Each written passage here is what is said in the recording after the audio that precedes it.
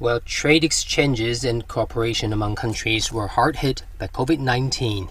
China, one of the countries taking the lead in the economic recovery, is set to open up the first large scale offline international trade fair in the country since the outbreak of the pandemic, reaffirming its commitment to wider opening up and offering a glance at global trade in the post pandemic era.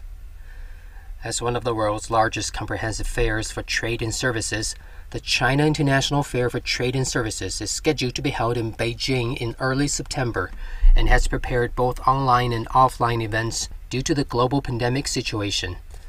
As of last Tuesday, 141 international organizations, embassies in China, commerce associations, and institutions were expected to participate in the event, in addition to over 2,000 Chinese and foreign enterprises.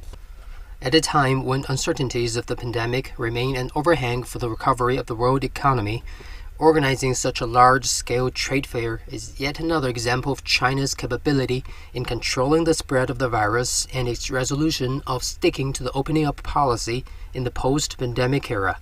China has deeply integrated itself into globalization. It cannot expand domestic demand without international cooperation and smooth operation of the global value chain. Expanding domestic demand, on the other hand, can tap the potential of the massive consumer market and at the same time benefit foreign businesses.